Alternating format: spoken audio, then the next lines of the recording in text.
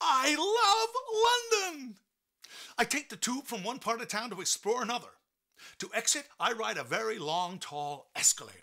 Now, the British people are very civilized riders of escalators. The elderly and people carrying heavy roast beefs staying to the right, leaving the left free for those wishing to walk up the stairs. The fitness types or, or poets rushing to get their sonnets published in the big daily newspapers.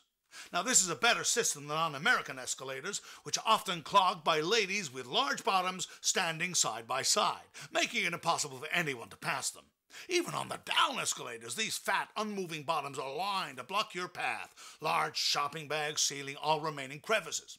Standing on these escalators, their bottoms growing even larger as they ride from lack of exercise, causing all the bottoms and all the fattening Americans behind them also to grow fatter from lack of movement, and all these fattening Americans getting off the end of the escalator and waddling out into the store and street with even huger bottoms than when they got on, these immense behinds in turn blocking and slowing the other Americans walking behind them in a steady, self-feeding, fat-making chain reaction.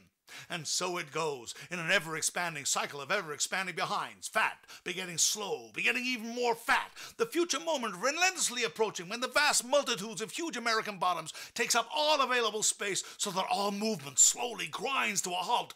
Every American's fat behind crushed up against everyone else's, no one able to move, unable even to twist in place. America now one vast, inert, sweating creature, melded into a fat butt lock solid, trying to sing a country song to quell its rising panic. But no steel guitar driven ballad about finally choosing your gal over your pickup truck is ever going to unglue this continent spanning fat ass mass.